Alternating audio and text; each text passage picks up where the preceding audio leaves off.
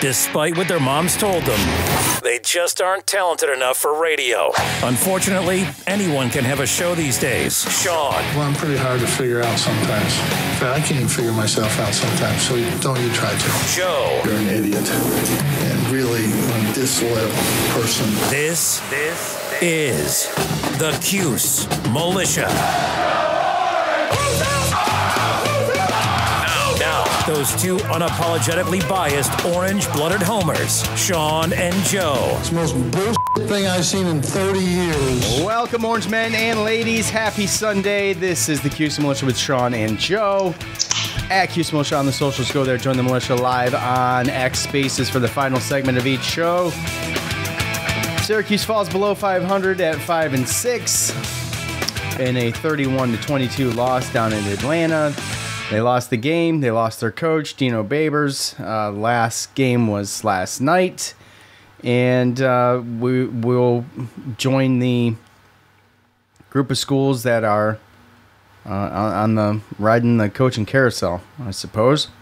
And we'll uh, have to deal with that and see what we got coming up. But there's a there's a short list of names that I've been seeing floating around, and I don't know really what to think about them. But you know, and uh, 19 points unanswered for Syracuse to get them themselves back in the game, and just a really um, valiant effort. I know valiant efforts don't always win games, but it was uh, a no quit kind of attitude. And if you watch the presser or listen to the presser after the game and saw LeQuint, like he's ready to go and uh, he's not going to let this bother him. They got one more game to try to get bowl eligible, and it's a winnable game. We'll see what things look like as um, we go into the Wake Forest game. Uh, Nunzio, what's his name? The interim head coach. Interim head Nunzio. coach. I'm going to say Nunzio, yeah. Campanelli. Yeah, That's what you said Campanelli. Let's time. just call him Campanelli. Um, call him Coach Camp. Yeah. So, uh, we'll see what things look like. Whether they stick with what they've been doing, or we try to go more of a traditional route with Wake Forest. I mean, you know, I'm not real sure. You know, um, what that's going to look like. I thought it would have been a little bit better last night, being that Georgia Tech is really not great at stopping the run. But at the end of the day, when you make yourself one dimensional and it's all a team defense has got to focus on, it um, it changes the dynamic quite a bit. And you know, I think we saw some of that, and not for anything, Georgia Tech's game plan was was pretty decent. I mean, they came out and uh, went down, scored a touchdown their first drive, um, and then stopped us to attempt a field goal. And I mean, what are you gonna do? Yeah, no, there was a lot of grit there because you know, like we spoke about before, um, you know, Georgia Tech that was pretty much their last, you know, hurrah as far as being able to. Um, Oh, they weren't going to get bowl eligible if they didn't win that game. Right, exactly. So I mean, they were they were playing as hard as they possibly could to get that W, um, and you know, obviously, I think that you know just some mistakes, you know, kind of kind of hurt us there. You know, there's a couple couple big plays on defense and some bad penalties on offense that put us too far back um, to be able to legitimately, you know, get first downs when you know we were running the offense that, that we were. So you can't get you can't get offensive penalties on first and second down when all you're going to do is run the ball. right, And I know we can sit here and criticize the last. Well, we'll get into it. You know what? Let's do it now, because. I, I, don't want this to be. I don't want this game to be a huge conversation. And fan feedback's obviously not going to be bad about the game. I don't have um, any any. I suppose I could post something right now, like I did last time. We'll get something, but um, you know, most of it calls for Dino to be fired or a change, and well, that that's been done. So, you know, there's no real sense in going in and talking about fan feedback as far as as far as this Georgia Tech game goes. So, right. Um, we'll, we'll dive in a little bit here, um, but this is Coach's last press conference uh, that he's going to do for Syracuse, and we got it cut up and ready for you to listen to. See what he had to say. Uh, obviously disappointed. Uh, hat goes off to Coach Key. That was a good, good football game against a good, good football team. They have some extremely explosive players, and uh, you know, congratulations. They're going to get an opportunity to go bowling. We hope that uh, we have that same opportunity. We have one more game left at our place. We're going back to the dome. We got to play a really good Wake Forest team that we've had trouble with over the years. We expect our our people to be there, and we expect them to be loud and crazy and to send our seniors off the right way. And uh, there's no place like Dome, and we can't wait to get back there. You know, last play of offensive play of the game for you guys, you give it to Luke, and he throws an interception. Just curious, what led to the decision to put him in there and have him attempt that pass? He knows our two-minute offense the best out of the quarterbacks that are healthy to run it. So that was it was just like a two-minute drill, and yeah. he's most veteran. Braden played kind of in the role that we saw Garrett in last week, just a little, I guess, less. What led to him playing there versus letting Garrett play like he did last week? Some of those guys are not as healthy. We're still waiting for those guys to get healthy so they can uh, do the things that they're used to do. So Garrett, would you say Garrett was less healthy this week than he had been playing last yes. week? Yes. Coach, why did it take till the fourth quarter to try passing more than 10 yards? because some of the other stuff was really good, and sometimes we didn't have the ball you know, our big thing is we're going to run the football. We're going to keep the ball in the hands of our people that we think are good. We did throw a lot of passes. We're not trying to throw them less than 10 yards. We just got tackled before we could get to 10 yards. So when we throw that, we expect them to go all the way just like the runs. Coach, before that final interception, nine penalties for 70 yards. Is there one part of the game that you think was contributing to that most? There was a lot of uh, stuff going on out there or what you guys call it, the business. There was a lot of people giving each other the business out there. And sometimes the referees see it and sometimes they don't. There were some things that I was surprised the referees saw because they normally don't see that stuff. So that my hats go off for them for some of that stuff. And there were some other things that happened that may not have been happening exactly how they saw it, but they called it that way. And that's part of the game.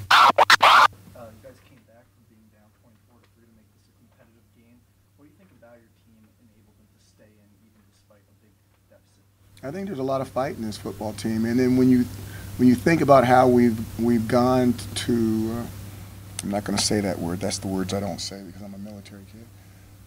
The things that we've had to do in the last two games to be able to move the ball and score points, and for them to be able to understand that that's a disadvantage, and but we're going to turn it into an advantage, and we're going to turn a negative and turn it into a positive. I think they've been in obviously both games. We won one, we lost one, but the way they're fighting and the way they're competing and staying together, I think I'm really proud of them. Back-to-back weeks with a lot of work on your shoulders. How are you feeling? I'm ready to go to war. Every week, every practice, I'm ready. You, I ain't, I ain't worried about being banged up. I'm ready to go to war with my guys. Before Dan was a tight end, he was a QB. You know, I had reps with Dan. I had reps with all those guys. You know, it's the same thing. You know, and Dan's a baller. I'm proud of him too. You know, for stepping up too. I think I believe, you know, in my heart, any offense, whatever the game plan is, I, I believe in my heart that it can work next week. You know, any week. We just gotta work on the little things, you know, and execute as a team, as one unit, you know, and take that step forward as a team. To be honest, the bowl game is not my standard. You know, my standard is ACC championship. So, um, I just that, that that's what we we can get now. So we have to get that that's the bare minimum in my eyes. Um, so I, I, think it'll mean a lot for these seniors, and uh, you know I want to play two more. I want to play two more games for sure. I don't want to just play this last one, and uh, yeah, I think we definitely got to do it for this coaching staff because they deserve it, and for these seniors. All right. Well, we, you know, we were all wondering why is is Garrett not out there, assuming his normal role. Um, if if most of his issues were with throwing, seen him come in take a kneel. He came in for a sneak. You know, he did the bare bare minimum. And you know, the response was, well, he's not as healthy this week as he was last week. So, um, you know, the game plan, the strategy on paper seemed like it was a great idea to do this again and almost inevitably going to be more successful than it was. Although, I mean, it wasn't it wasn't bad, but it's just like when when you have to have something more than just relying on the run. They put themselves in a couple of holes. Joey and I talked. Amari Hatcher had the double penalty, ended up being like first and 25. You're, you're not going to come out of that with by running the ball. You know, there was the last play of the game offensively for Syracuse was, you know, a, a, a picked off pass. They, they say, okay, well, it's time to run the two minute offense. I got an idea. Let's throw Luke McPhail in there and put the whole entire game on his shoulders and have him try to save the day. Okay. I don't know, man. I don't know. That's why I'm so, I'm so confused. Like, should they would they could have done that earlier? Yeah. I mean, is there is there not another real option? Eh, what's going on with Carlos Del Rio Wilson? I mean, is is that was it totally? Is it you know unheard of to say you know maybe throw him in? Um, you have these situations first and twenty five. I mean, it seems like a you know maybe run first down, but you got you're going to get in a passing situation at some point. Without it, we just weren't. Um, we just weren't effective. The defense did uh, a pretty good job. Some some lapses on defense. It's going to happen, but um, a missed opportunity on, on fourth down. Sparrow got in a neutral zone, and you know, and then they got burned for 53 yard touchdown and some blown coverage. Just looked like some confusion out there, and so that's going to happen. But if it weren't for them, well, if it weren't for a full team effort, the 19 point, um, the 19 unanswered points, you know, it's not going to happen. But I, I, don't really have much to say about the game. I mean, it wasn't even. I was, I was, I got excited. I thought there was a chance. They didn't make the two point conversion, okay, but Georgia Tech goes down and scores, and then you know now it's nine points, and that's that's right. that. I don't know why I put Luke McPhail in at that point. I'm not sure. You need two scores. Um, maybe just to get him out there and see what he can do. He, the coach said that he was the one um, out of all the quarterbacks that can run.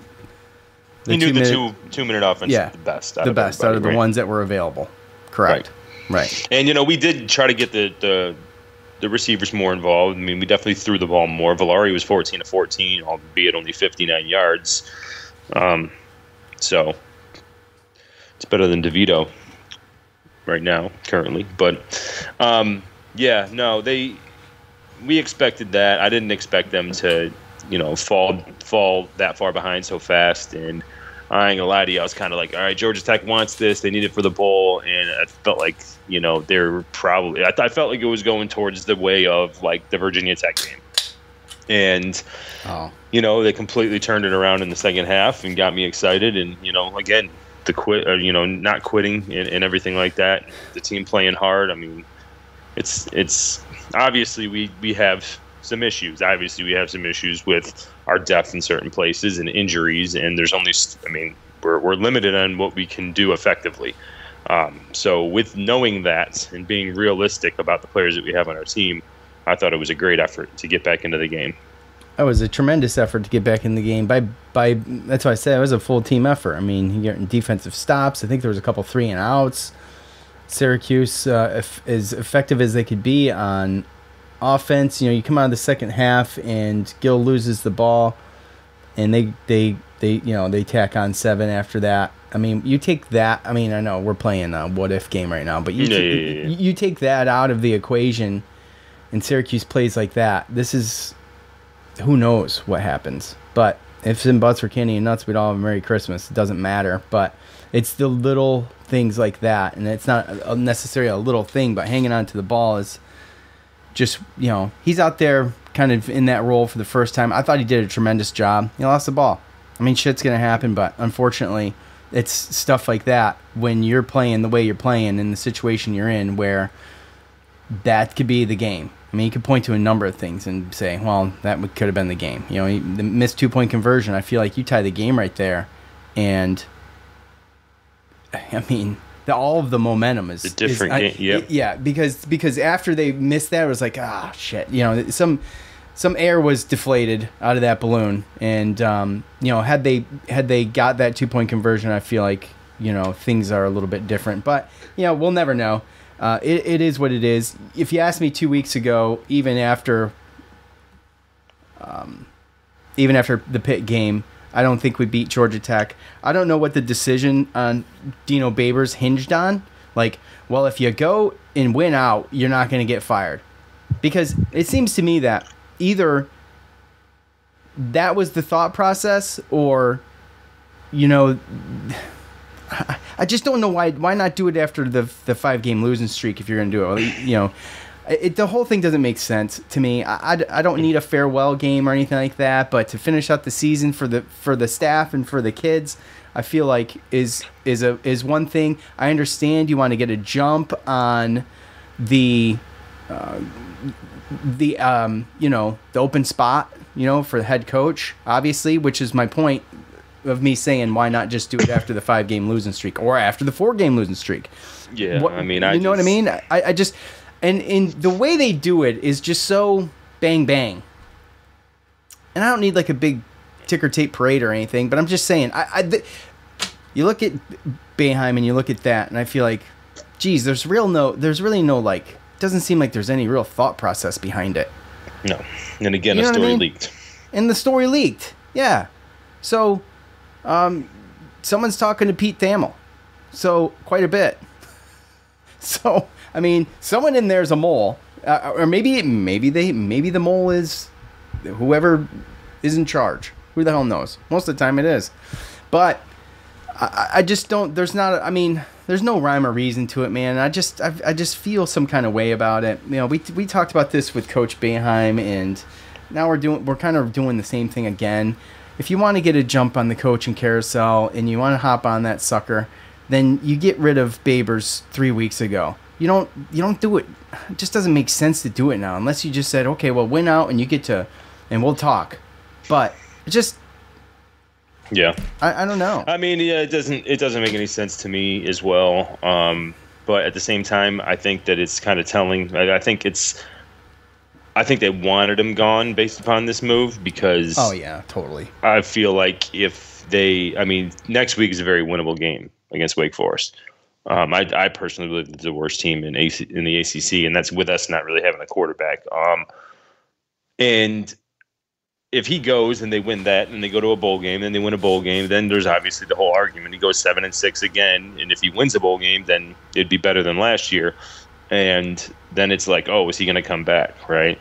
And to be perfectly honest with you, um, then you kind of retain everybody you know, you get your recruiting class coming in, which again is one of the better recruiting classes that we Dino's had in, since he's been here, um, and get some transfers in, figure out your quarterback situation. The next year's um, next year's schedule is very manageable to where you know you can you could go and win eight nine games, and now you're talking about Dino's oh he's going to get extended again, right? So to me, this was uh, before he can get any momentum or grasp any more momentum um, to you know have it an argument. Let's just do it now, which again just doesn't make any sense. Uh, I, I, know that they're going to come out and they're going to play hard. Those players they want to they yeah. want to make a bowl game and, and, and everything like that. But um, this is just I mean nothing is is thought out. And Pete Thamel, by the way, Syracuse Newhouse graduate who works at uh, John Wildhack's former employee uh, employer uh, ESPN.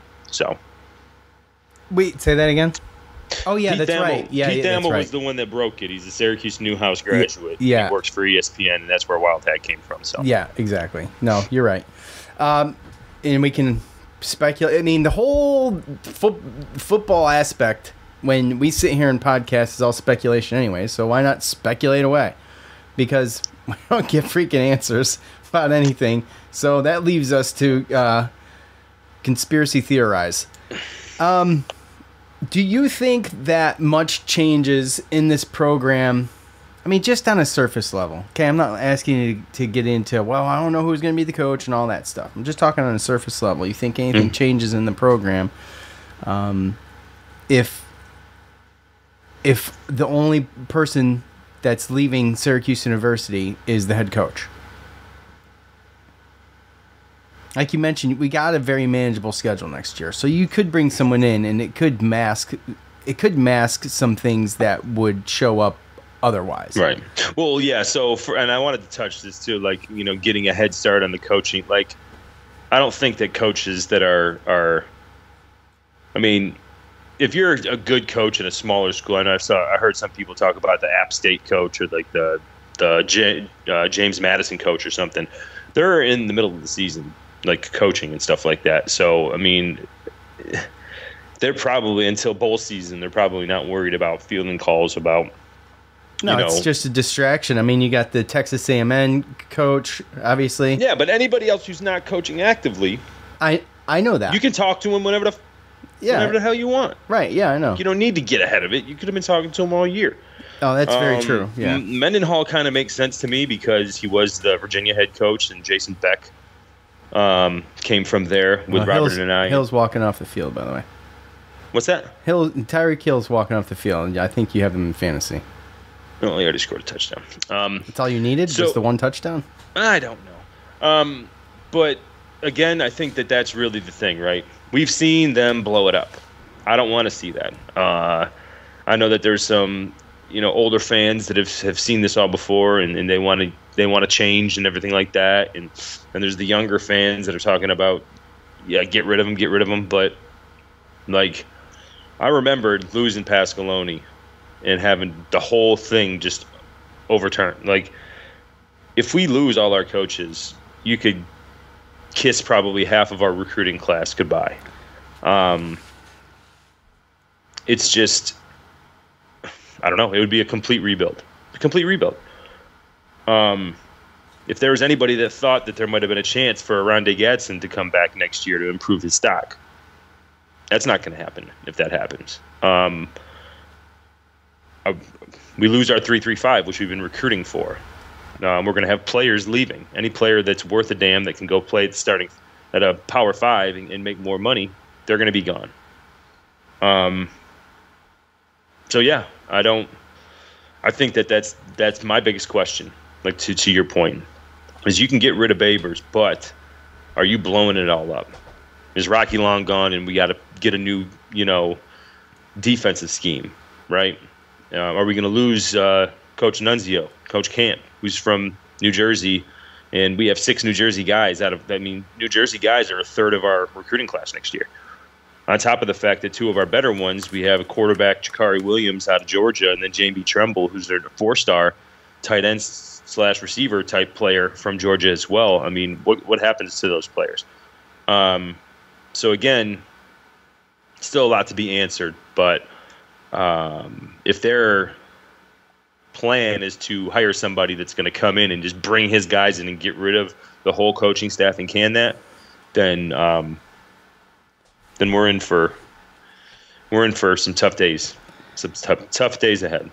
And the worst part about it is, is that next year, like I said, we have a manageable schedule. So it could even be a situation where we could have a worse team, get bring in a, a new coach, and we actually do do win like seven, eight games because of how manageable our schedule is. Doesn't mean that he's a better coach. Um, looking at our schedule, That's my. That's what I'm saying. I mean, a lot of things can be masked next year. I mean, if that's the case, mm-hmm. because because of the because of the schedule. I mean, you're expected to win a bunch of those games, and you know, everybody. You, you could sit there and look at it and be like, "Oh man, what a masterful season." But I mean, even if you're really, if you're very successful, and you're just, you know, moderately successful, we don't know what the hell the difference is, but we just know that it's a good year. If it's going to change, if you're going to change, it's a good year to do it. I don't think, as far as everything being blown up, is is not really kind of what I was thinking. I was more thinking about our previous conversations about, you know, the school itself and you know how things are handled in the school now and you know how you know i think dino makes just under four million and you know what are you going to pay a new coach? What kind of what kind of nil money are they going to get for the football team?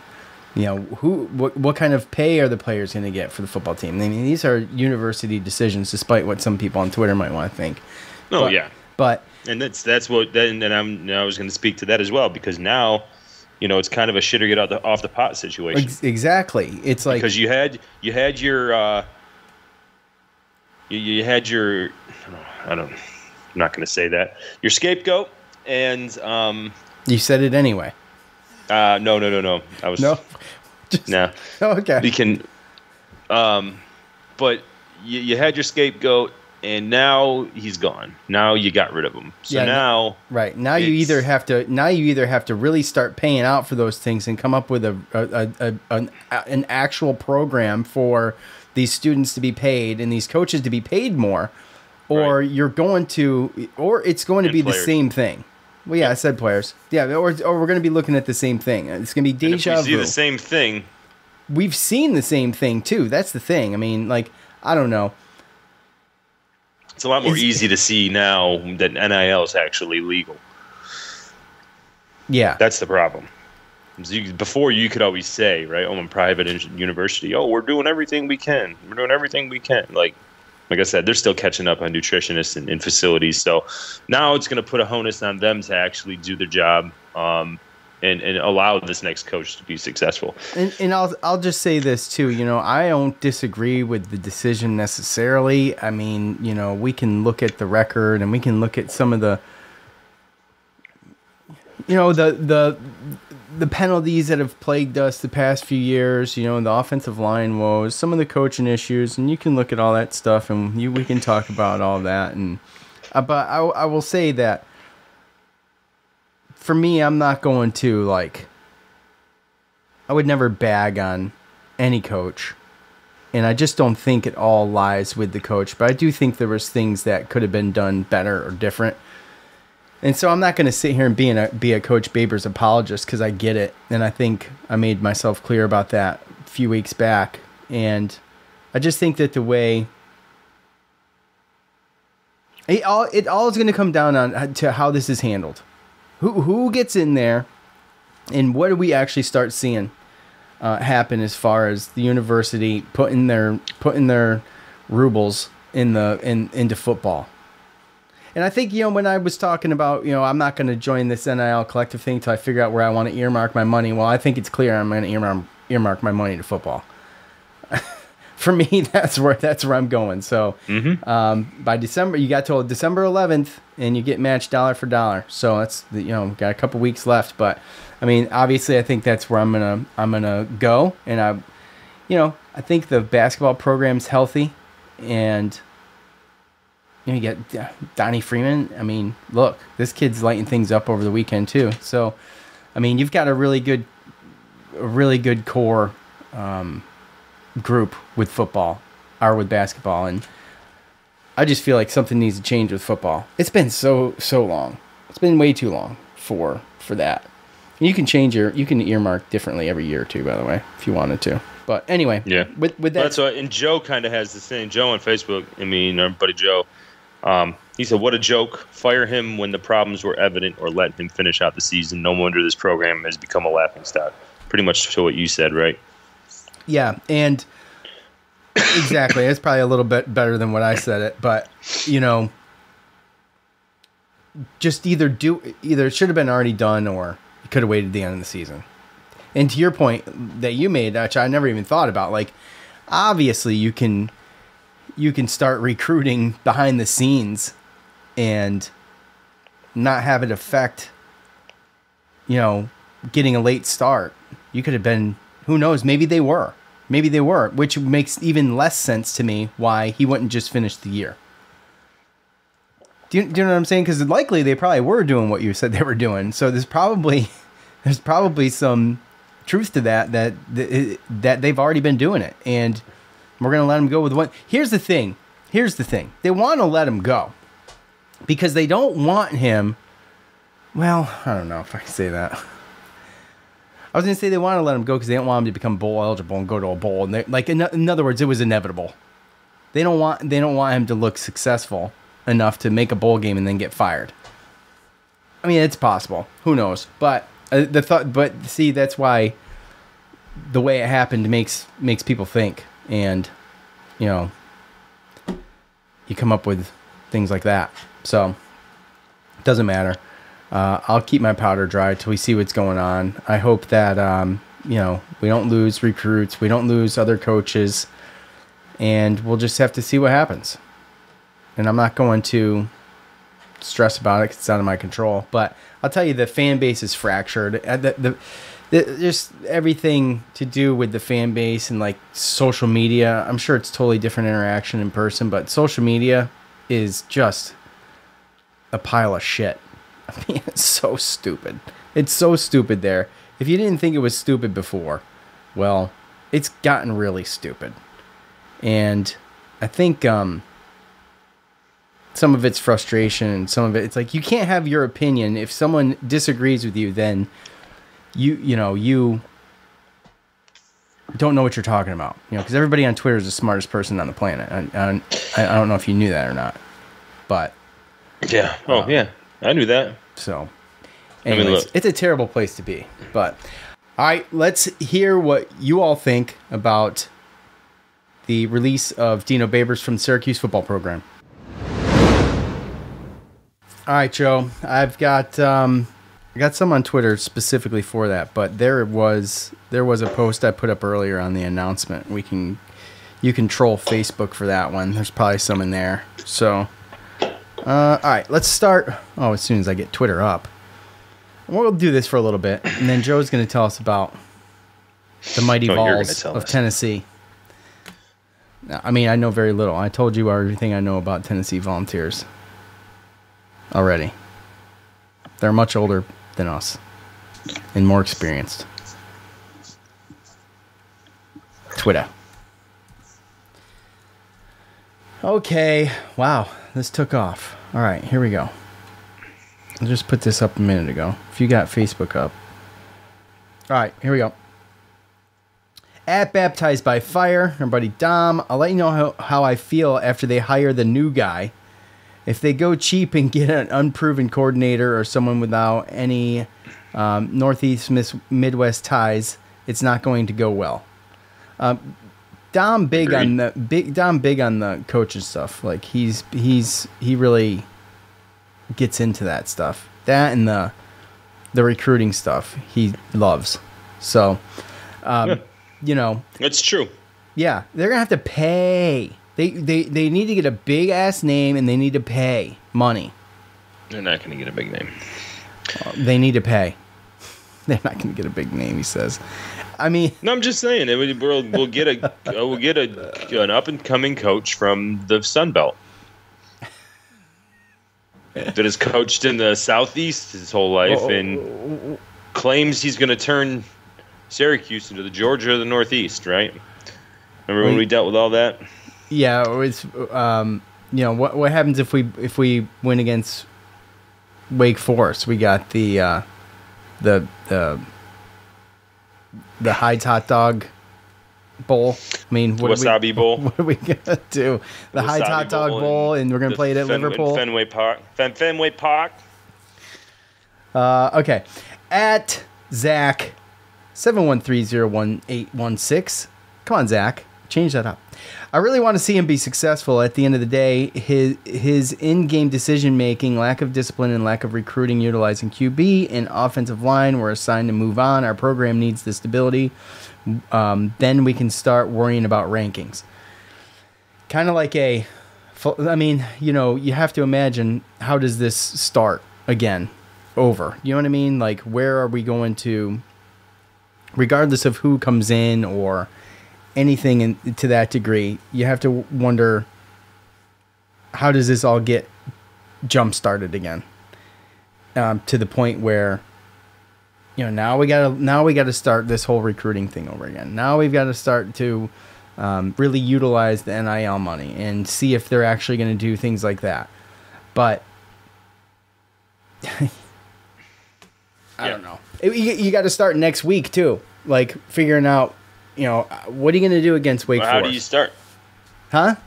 How do you start next week? No, I'm saying just the team in general. Like, you know, you have to keep the team together. The team's got to, they've still got another game and a possible bowl game, right?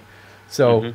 That's the worst part about it, right? Like he's the player's coach. So a lot of those guys will damn run through a damn wall for that guy, and like right, and now we've got a now now you know you heard LeQuint Allen in the montage talk about you know we want to do this for these coaches and the staff. Those those guys have been playing for coach. You know, I, the, a lot of that Pitt game, you know, was was circled around that idea, and now you know they're going to be playing for a familiar coach and everything. But we're also in a situation where you know you have to not you know you have to keep the don't lose the the team.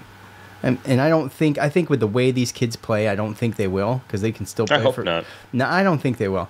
But they But can. there's, I mean, you could still play for coach even though he's not there anymore. But you know, why? That's my thing. Right. Is it's like why? It's just like that whole thing going on with James Madison or all these like and you know everyone questions oh what the NCAA is doing in the rulings because they swear they're for their kids and to protect the kids and it's like it's for the kids right like I mean I get it but why would you do you know we need one game before bowl eligibility. I don't care what bowl it is and I don't care if anyone is mad or upset oh we went six and six and we went to the Tony the Tiger Bowl. It's still money and it's experience for the kids. And now, one week away from their last chance to do that, their last chance to get a trip, to get some swag at a, and show out and, show their talent in a bowl game in another city, extra practices, and now you're going to throw this wrench in there. Oh, by Well- the way, this isn't the coach anymore. So now, what do you got? You got people. Of course, there's people like Shrader and people like I don't know. Marlowe Wax is probably going to go pro there's probably players like that that you know they already knew what they were going to do right but there's also other players that now in the back of their head they're like who's going to be the coach what am i doing am i going to have to transfer like and sometimes people they can not you know they can leave it off to the side but you know i think that that, that does affect some people you know even down to the coaches i mean uh, yeah this is a, tr- a tryout right or this is Well, a tryout for the coaches that are there to come in and step in and take over and, and just you know show that they could be a little bit better, maybe get a chance. But like, I mean, even those coaches are they thinking about where they're going to be next year? Oh, they probably are. There's probably so many things on their in the back of everybody's mind. They got to try to stay focused, and it's almost like you would say, I don't know. Would you use the word sabotage? I mean, I don't, that's that's kind it's kind of what I was feeling like earlier. Like it's this. It's just like if you could have done this three weeks ago, or if you were planning on doing it anyway, because regardless, you know, then why not? Or like you said, just all right. Well, we're gonna let the year finish out, but um, we're gonna talk behind the scenes. You know, is it is it something to do with the fact that well, we want them gone regardless, and if even if they get a bowl, you know, we don't want them to get a bowl and then go to a bowl and possibly win a bowl game and then fire them. That's gonna look really bad. So let's just you know what, Let- let's just do it now, like a frantic Yeah. moment where you're just like, just do it now. It's like, okay, well now these kids are trying to play for a bowl game. The the the team is been modified from its original version already. Mm-hmm. What does it look like going into Wake Forest? Like, do we do that again? Like, I have, I just, there's so many question marks, and there's so much to put on uh, Campanile too to to actually have to do to deal with all this. And now he's kind of under a microscope, right? I, I mean, or maybe he's not. But regardless, you have so many, you have so many people that are trying to go ahead and finish this season out semi successfully, and now, like you said, they just threw a wrench in it, and it's like, and when we said, you know, when I've said before, Syracuse foot, uh, Syracuse University hates football, it's kind of exactly like proving my point. If you want to be successful, I don't think you do it to today. I just don't think you do it today. I mean, I think you Right. let me personally. I feel like you let the year finish out, but maybe you do it three weeks ago, but you don't do. Right. it But you don't do it today. And like I said before, you don't think that these coaches talk to each other. You don't think that there's people that know people that know people. Dino is going to be in the ears of these coaches. This right here is just it's a it's it's literally an action that shows. I mean, any type of head. Why would a head coach even want to come here with I, that leadership? I, I know with that leadership, Why? but be getting treated like that too.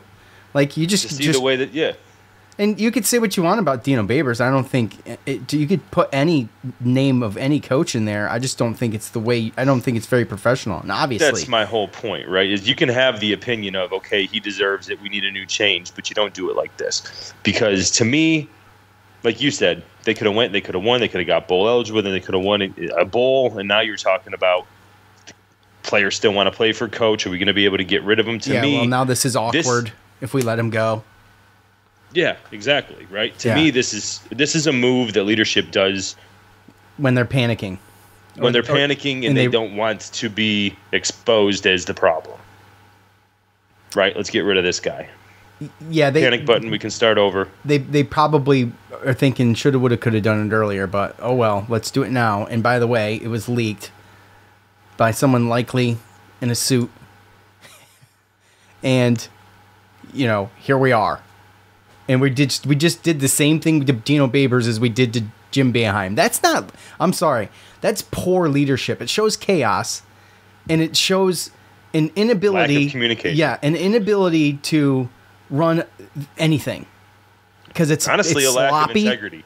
well. Oh, integrity too. I mean, yeah, you want to go the integrity route. Don't get me started with Syracuse and integrity. I mean, please. I think we've been through this. We had this conversation before football season started. So Mm-hmm. we all know who SU is, and I'm not a fan of SU. I'm a Syracuse football and basketball fan. Okay, the the the the university can yeah. go. Yes, could, could go fly a kite with a hole in it. I can't stand the university. so that's that. Um, well, I mean, like I said, now it's on them. Now it's on them because if they get someone that comes in and they do worse than Dino, It's like you said though, it's going to be hard to tell next year if they do worse than Dino. And besides, there's every excuse in the book to use next year. It doesn't next year doesn't matter. That's my no, point. It's like you got he's to wait. get two, three years anyway. Right, Right. Exactly. That's what I'm saying. So you're gonna get three years. Next year, it might- 2025 is the test. Yep. That's going to be the test. That's going to show you exactly what we're going to be not dealing win with. We might, we might not win two games that year. And if we I'm go serious. and if we go six and six, well then you know what? Maybe we got something. I just don't know if it can be turned around that quick. And I think that everybody Can't. not everybody, but there's a lot of people who think that just firing the head coach and getting a new head coach is gonna be the the end all be all and that everything's gonna be fine. But you know, we dealt with the with the basketball coach for 40 45 years. So, you know, it's you know the the coaching carousel with the football team has been what it has been, and we can all go back and relive nightmares of Greg Robinson and all that stuff. But you know, it doesn't. You know, it's been a struggle for over twenty years now, a real struggle. So Mm-hmm. is that the coaches all the time, every time, Everyone. every single one of them? Is Oh no. No, I'm- I'm- Marrone, I'm ju- Marrone got a head coach and he got an NFL head coaching job for going 500. Like that should tell everybody everything that they need to know. Right. And and that's that's my. And that's a good way to put it. Is because like we're sitting here to use the word you used earlier, using these scapegoats when, you know, it's clearly a bigger problem, a bigger issue that's been going on 20 years. And you've had some Yep. pretty decent coaches. Doug Marrone coached the Buffalo Bills for how many years? It was a good chunk, wasn't it? Well, he went he went on as a Jacksonville coach too. Yeah, but but how So but he when he left SU, he went to he went to the Bills, right? Buffalo. Yeah. Yeah, and he he coached there probably, probably what three five years, Something like that, yeah. and then he went to really Jacksonville. sure. He was at Jacksonville for a while too. Yeah. So yeah. Shafer only got To- 3 years. He was his defensive coordinator. to tell me that it's just Fired the coach and that the he coach is, fired go ahead. I'm saying if they fired Shafer Shafer after year 3 and year 3 uh, he won a bowl or he made a bowl game and they still fired him. Yeah. Yep. Um. All right. Let's keep going. Well, let's see. To kind of go Uh, with Go what ahead. we were talking about too. Andy, boy Andy, Facebook he says great guy, but his teams were inconsistent and undisciplined on a weekly basis. I don't see us rebuilding or going backwards any worse than what next year would be with Dino. Anyone upset about this is stuck in the past of what Syracuse has done with coaching decisions and is scared of going forward. You can't expect to go 41 and 55 in eight years and keep your job. Have faith, Orange Nation. I I I mean I agree. He has smart comments. He does have smart comments. I mean, I do think that a lot of, I don't know, and just like I said, playing sports, um, a lot of that stuff is is con- concentration and stuff like that. Um, you know, when it comes to penalties and things like that, I know they want to say coaching and all that other kind of stuff, but like, like I remember playing, and I just knew that there were some guys that were okay. This guy, he's probably going to have seventy five percent of our false starts this year because every time we go on two and we're moving fast, he can't think and he's not great under pressure, right? Like some things like that. Like it's, I think that coaching. I mean, that's it's on the individual, right? I mean, what is coaching? How is how is a coach on the sideline who says, okay, this play on three, and this guy goes and he, and he starts. What does that have anything to do with the coach? I feel um, there's certain things, but again, the coach, you know, they're the ones that they, they look at and say, okay, well, it's on them. Oh yeah, well, your starting quarterback got hurt. Well, it's on him to have a number two, right? but again, you can't just stop there. Um, and then to his comment too, you know, anyone upset about this is stuck in the past of what Syracuse has done with coaching decisions and is scared of going backwards. Um, and to me, I that that comment hits me personally with the Pasqualoni going to Greg Robinson. The fact that Pasqualoni was bringing us to basically a bowl game almost every year, um, and we blew it up. And we had a new AD come in. We had all this um, new coach come in. Well, We're going to be the USC in the Northeast, and mind you, this is the Big East. You know, we're, we're not. I mean, Akron came into the dome and beat us, right? And the Big East is way less talented than the ACC. So, um, joined the ACC in 2013, and it, it, hasn't been easy. It's been tough, uh, especially with getting connected to this Notre Dame. I mean, and I think we were a little bit, but now Notre Dame has to play certain ACC games, so we play them more now, and it's just been tough. And I am scared of going backwards because I've lived it. I lived the fact of they blew it up. And well, many of to us this, did. To this day, we are still feeling trying the to get pain back from that. just going, just going to a bowl every year. To this day, one one out of every four years we go to a bowl game. Last twenty years. By the way, where was Pasqualoni too when he left Syracuse? Wasn't he? You, Where did he go? Miami. he's been an NFL coach. He's been an NFL coach. yeah, he went to been- Miami. He was uh, he was in Miami, was he not? Isn't that where he went directly immediately after Syracuse? I'm not sure immediately after. But I'm just saying- I'm just he's saying been a position he- coach in the NFL for ever since he pretty much you know But he's left Syracuse. ex- exactly. Well, I mean, to our point that we're making with Doug Marrone, I mean, you might as well throw his name in there too because you know obviously Who? Pasqualoni. Oh, he's way too old. No, no, no, no. I'm not talking about bringing him in as a coach. I'm talking about Oh. people who were let go from here and went on to have be successful at a higher level. That's what I'm talking about. I mean, you know, yeah, no, I'm not talking about what do you want to bring Coach Mack back? I mean, no, that's not what I'm saying. Um, it'd be a little tough to do. Too soon. Too soon. Too soon. Any anytime would be too soon. Uh, Yeah. At Cuse Waterboy two, I think uh, uh, I think a change needed to be made if the university had a plan in place, and that's a big if. I'm shocked uh, shocked they actually pulled the trigger this morning. Definitely need to get uh, get a plan in place though before the portal opens, and to save future recruits and current players. I think you know. Yeah, why this morning? I don't, I don't freaking know. Why not last night? Why not at halftime? last night. I mean, it's the difference. you know. Yeah. Yeah. Well, now it's the game, right? Because now there's so many other things that I'm worried about than getting to a bowl game. There's who are they like? Who are they going to keep? I guarantee you. I mean, you lose a couple of these guys. You know, you change the defense, you're losing guys. You're going to lose guys anyway. But you bring in a coordinator that's got a different defense than three three five. You're losing some guys. If you lose some of these, I a think a lot of these coaches, Rocky Long has to really stay, dude. Recruiting. Rock, Rocky Long has to stay. I, I I just don't unless he decides to leave. I don't think Syracuse is that dumb.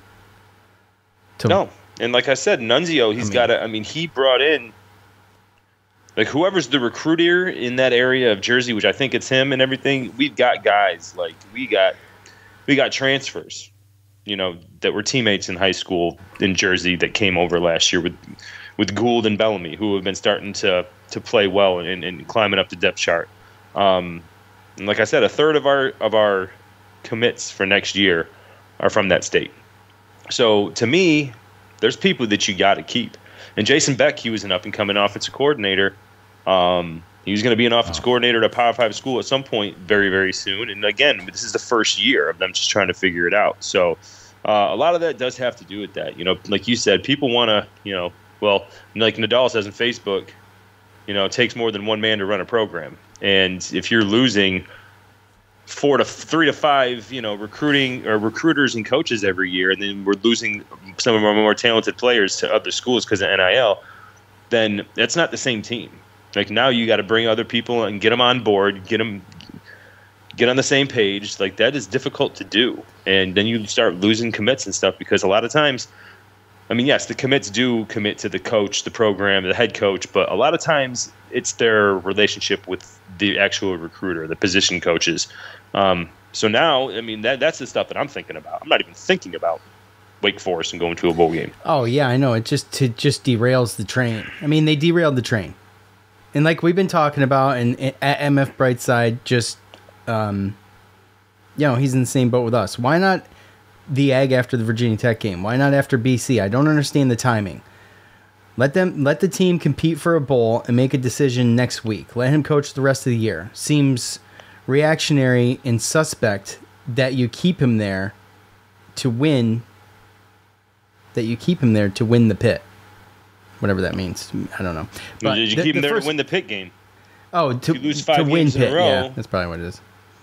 Yeah, you keep him where there to win, to beat Pitt, and then yeah, that, and that's just what I'm saying. It's like the decision was made, the decision's been made, and and maybe it got leaked early and it wasn't supposed to, and they're like, oh shit. But again, that comes down to leadership and communication and. Um, but that's the thing. Integrity. That's the and that's my whole thing. Is again, like I said, two things can be true at once. But at the end of the day, at least Dino had his his kind of you know his the pulse of the team, you know, players coach, the culture of the football program, all that stuff. And, well, look what they did last week. Was, that team was so together last week. You know what I mean? Oh like yeah. The the just the um the morale of the team after going through what they went through was absolutely as high as it could be in that situation. No. You know what I mean? And Georgia so Tech like, going and playing in that environment at Georgia Tech, who's a team that needed that win to go bowling because and, they're playing Georgia next week. Yeah, and, and to have and to come back, back, yeah, with an offense like that and the guys that are injured, um, yeah, I just. But the fact of the matter is, we've seen a botched retirement with Jim Boeheim. We've seen a botched, you know, firing with Dino Babers and all that fun stuff. Um, we can't even get that those plans right. So I mean, I guess that's really my biggest thing when it comes to the AD and and um and Syverud and stuff like that is that it's it's they can't even get the easy, simple stuff right. They don't even have a plan to make that work, or a plan to so that they can communicate it, do it correctly, so it doesn't get leaked. Um, so what makes you think that they actually have a plan that's going to work outside of this? Yeah, I, I unless they completely change everything that they're doing and everything that we've been talking about on this podcast. They turn around and they actually start putting all that effort and support and resources into the damn cash cows that actually make money for your for your university. Isn't it funny though, Joe, how we we've actually we've been having this conversation for weeks now, and it's it's relatively the same conversation but at a different level, and like, you know, I don't know how we do it. what the You know what I'm saying? Like, my gosh, what a what a train wreck. You know, yeah. it's it's so dysfunctional. The whole thing, everything to do with the past couple years in regards to the higher ups at Syracuse is so dysfunctional and so uh, just I can do not, it because I want to talk out. about it because I want to let it be known so people, everybody knows. I know. You can't just, just, can't just blame the coaches. There's way there's a bigger hierarchy than that. It's just so poorly thought out at every turn. It just makes no sense to me. It's it's like, are they that dumb? They can't be. I mean, these are these are people in powerful positions making million do- millions of dollars a year. They yeah, can't be this stupid, can they? Or, or irresponsible? Can they really?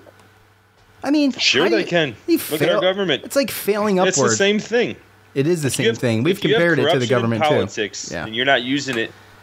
If you have corruption and politics involved with a lot of money, then something the stuff's not going to work. The only thing that's good is their bank accounts. The only reason, I mean, I talked to my buddy about it, and it's just like almost if you were to put it into stocks, right? Like the amount of money that we put into some of these other schools. I think it is sometimes. I mean, yes, you want to be inclusive and you know, you know the DEI stuff that everyone's pushing and everything. Yes, hundred percent. But if you have, let's if, if every, if every single sport, and this is how my buddy Sabo explained it to me, or he this was his analogy. If every sport at Syracuse was a stock, and the only two stocks that made money We're basketball and football. Then why wouldn't a majority of your money be going into that? Because, there's more to it because of what you just said. That's my point, though. Because everybody's gotta get some of the money. Is it's addition by mul- it's addition by subtra- subtraction.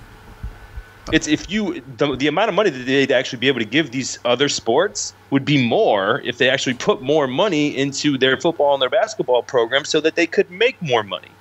You put more money into it, you make more money. Then you have more money to give these other programs. But instead, we But spread it out. you spread it out evenly and you stay mediocre. resources Yeah.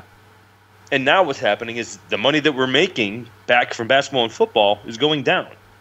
I mean, look, they'd rather fire a coach early instead of saying, okay, we're going to end our relationship at the end of the year, but we want to try to, you know, for the kids, for the senior day that's coming next week, and a chance to go to a bowl game and make some money, we're going to just sabotage it.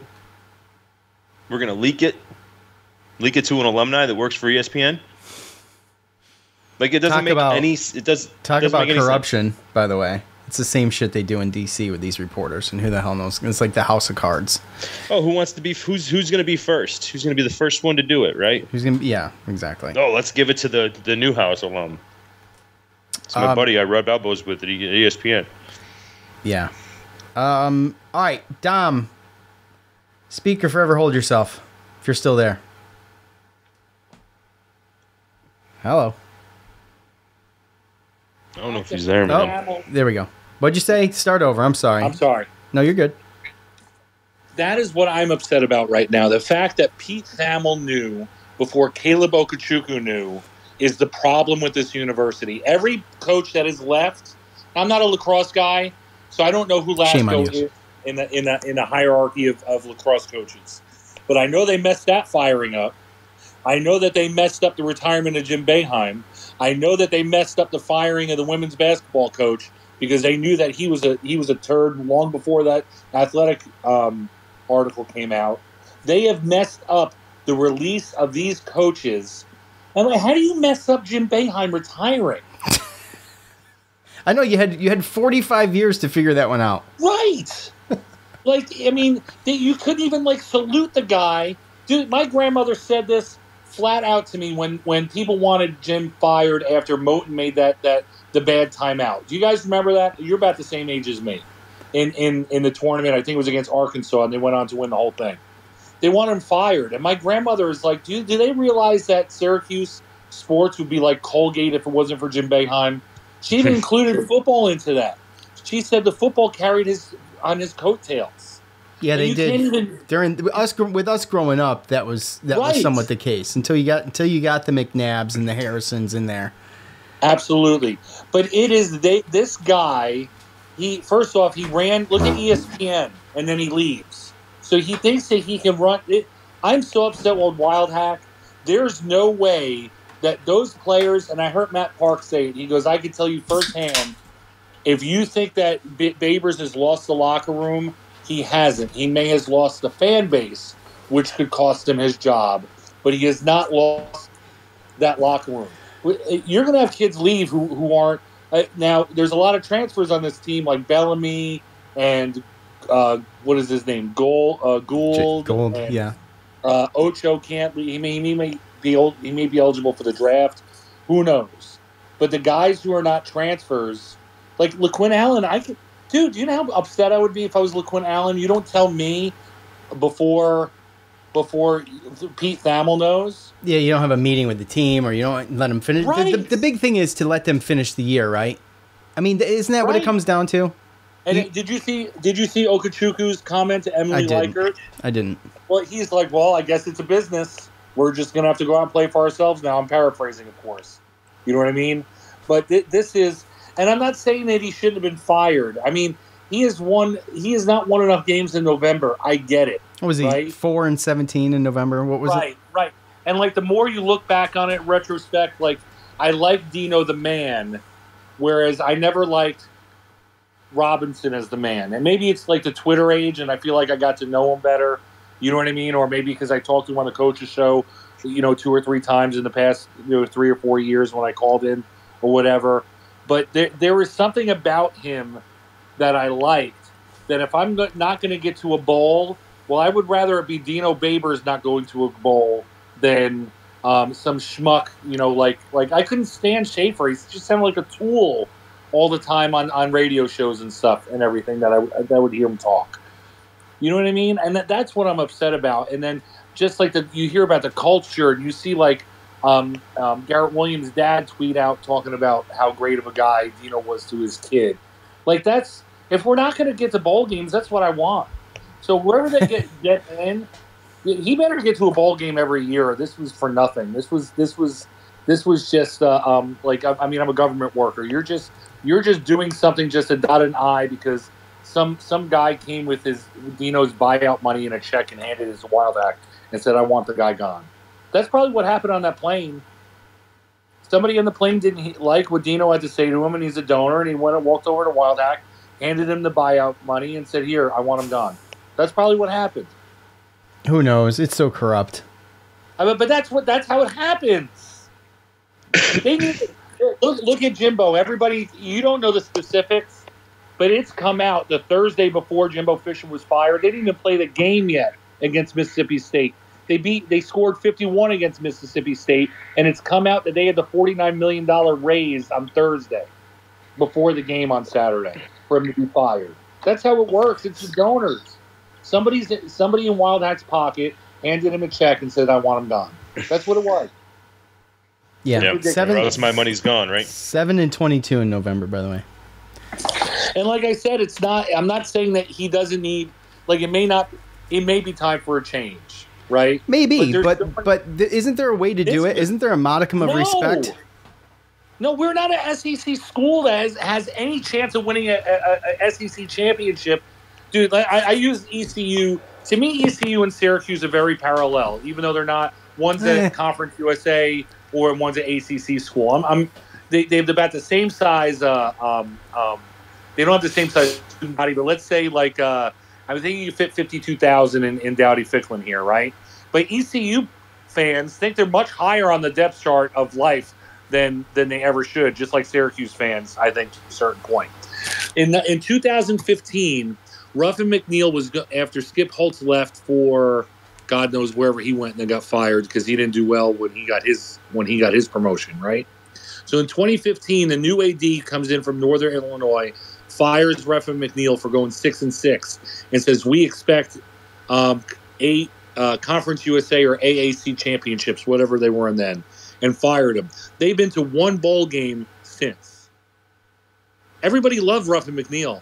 He was a former alumni here, and I'm not a big ECU fan, but I like the guy too. I'm, I, we were so bad over, under Shafer and that I was almost rooting for ECU more than I was Syracuse.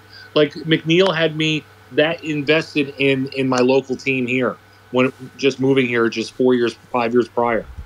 It's going to be this. I'm worried it's going to be the same, and that doesn't mean that you don't fire the coach because the fans are worried it's going to be the same thing. But like the process was backwards. Tell the students first, man. That that if I if Okechukwu came in and said, "Yeah, Wildhack talked to us at a team meeting once we got off the plane, explained to us what was going to happen tomorrow, and this is you know we all got to say goodbye to coach, and and that you know." They, there's no way they're letting him in the building today. They're paying a mover to get Dino's stuff out and shipping it to his house. I mean, that's how corporate America does stuff when you get let go like this. Yeah. Well, Th- Those kids aren't even going to get to say goodbye to him. It- that's wrong. It's wrong. It just is. And I, I'm just hot about it. You know what I mean? Just do stuff the right way. And if it was the first mistake they made, guys, like if it was, if they did Boeheim right, if they did Lasco right, if they did, if they fired Coach Q as soon as they realized that he was crappy to those girls, they, I would kind of give Wildhack a pass. I own, I understand that one a little bit. They're There's actual they're- allegations against the coach in that situation. Right. They're they're four for four for being stupid and letting people go on this one. They really are. So thanks, guys. I'll let, I'll let I won't I won't take up anybody any more time, you guys. I'll talk to you uh, soon. All right, Dom. Appreciate you, buddy. Appreciate it, Dom. Um, I'm right there with him. yeah. No, I'll just let him vent. Uh, Tony, speak now or forever hold yourself. I know you'd like to do either or, but you're on. Hey boys, how we going? How you doing?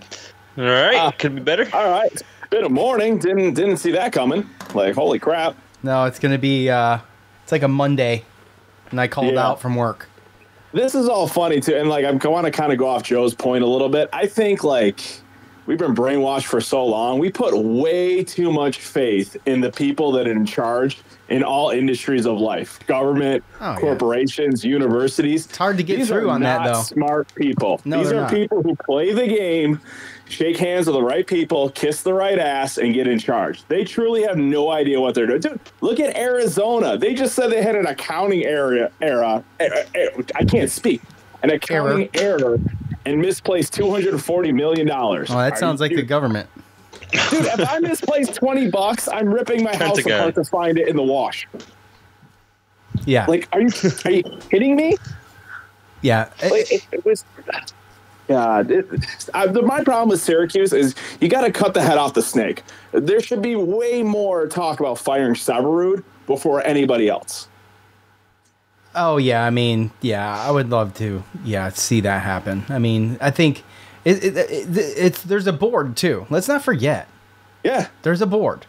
I yeah, I, I don't think they make football a priority at all. No, they don't. You, you're happy to cash the ACC checks. You're happy to move conferences, which I agreed with the move. It had to be done, but you did nothing to invest in the program. No new facilities.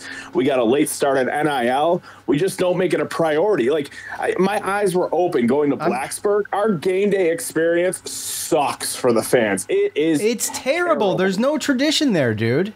It's so bad. One of my buddy, you know, I talk about on Twitter all the time. The boys, like the group of like four or five guys we got. One of them right now is in Houston. He went to a Houston football game yesterday, and he's like, dude, like the pregame blows us out of the water. They got fire and shit. This is awesome. Well, that's that's why I. It's not the main reason why, but once I went to an away game and it was just like my experience was just like, I felt like I was like under a rock for my whole entire life. And I had just come out from under the rock, and I'm like, "Wow! So this is what it's like." And then, Exactly. and then I was like, "You know what? I'm going to make this my priority every year to go to an away game to watch my team play and at least get to feel that true NCAA college football atmosphere that I never grew up with. It was never there. It was Yeah, never there like that. It's ever. Wizard of uh, Wizard of Oz going from black and white to color. Like I went to like an Seriously. Atlanta Braves game, and Atlanta has like two hour traffic after a game, and I'm like, how can you ever complain about traffic in Syracuse? takes me 20 minutes from Camillus to the Dome, 20 minutes back, even on the busiest of game days. Like this, it's a joke. Yeah, it's well, yeah, that's a whole mean, look nother level. Georgia But Tech too, man. I mean, just watching that on TV. yeah, they got their Drive, driving yeah. the car out there, you could just see. I mean, you could tell the production was way better, right? Yeah, Um, and then you know It's a show. even like Florida State, right? Oh, Florida, they State's got- is off the chart. Right. And it it may be a little thing, but all these little things start to add up. Like you can't have how about bad product on the field, bad game day experience, all these things. Like I go to the AAA baseball games here, and I barely watch the baseball, and I'm a baseball junkie. I'm just shooting the shit with the buddies, but I have a blast there. How about the game day experience is great? They're keeping people engaged. People are having a good time. Through- Like throughout the whole game, every time you you were at the you were in Blacksburg, so there's the key the key rattle on third down. Then every time they get a t- first down, it's the First Hokies. down, chant. Hokies! It's the H O K I E S Hokies Hokies Hokies chant, and, and Yeah. you just you they are engaged. Now there's an MC that's that's helping along with that. That keeps them and it's and it's in your face and it's and it's constant and everybody knows what to do to play along. It keeps you engaged in these games, especially when the games are tight. And we just don't we just don't have it. We don't. There's Dude. there's nothing to there's nothing to glom onto to keep you like invested in that type of atmosphere. I mean, I think it was a huge mistake to put all this money into this dome and not have a retractable roof. I, I just feel like you can you could have had the best of both worlds if you open that son of a bitch up and let everybody freaking get snowed on. Okay, I, I, I just feel like they missed a huge opportunity there spending that kind of money. And you know what? We've been saying for years, get some freaking tradition going. You know, I don't know Yeah. who's in the booth in MC in the games, but it's awfully vanilla. And I feel like it could be a whole lot better. And Well, part of that will keep the fans happy too, Tony. I mean, it's not just the fact Yeah. that you know what I mean. It's not exciting. It's not as exciting. Yeah, I'll give you a little insight on that. Like back in 2019, when they had those in-game host editions, and to be real, that thing was kind of rigged in a way. The three people who won it were all Newhouse students. But credit to the guy that ran the show, he gave me a chance, and he's like, "Hey, like, you know, we're not gonna let you be the host, but like, I want to incorporate you somehow, and I got to do the stuff on the sidelines." This guy had amazing ideas, and he's like, "Hey, uh, do you can you drive a motorcycle?" And I'm like, "Well, no, but I'll go get my license if you want me to." Why? And he's like, "He's like down the road, I have this awesome idea. Like, what if we have you driving a motorcycle, and we put Otto in the sidecar, and like you guys lead the team out when they come out of the tunnel?" And I'm like, "Brilliant, let's do it." Fast forward to like COVID, and now he runs the show over at Cincinnati. He, you know, he saw the writing on the wall and got the hell out of there. But I'm like throw stuff at the wall, do cool stuff like that. Like our entrance is so bland. Just try new things, man. Yeah, they come out with uh, you know they got some smoke blowing, and we run out, and you know it. It's average. It's like average. we can do so much better, but it all starts at the top. Like there needs to be, we need to figure out our identity and just start fresh. Like I I have a daughter. I love I love kids, but the whole "Let's Go Orange" chant with a little kid, where it's offbeat and it's it's quiet, it's not working, man. Like the the stand and clap at basketball games. It's you know I've talked about this on Twitter. Yeah. Why do we put all the pressure on our own team? We should stand and clap for the other team until they make a basket. And then each time they miss, intensify the clapping. You get to that first four minute timeout, they haven't made a basket.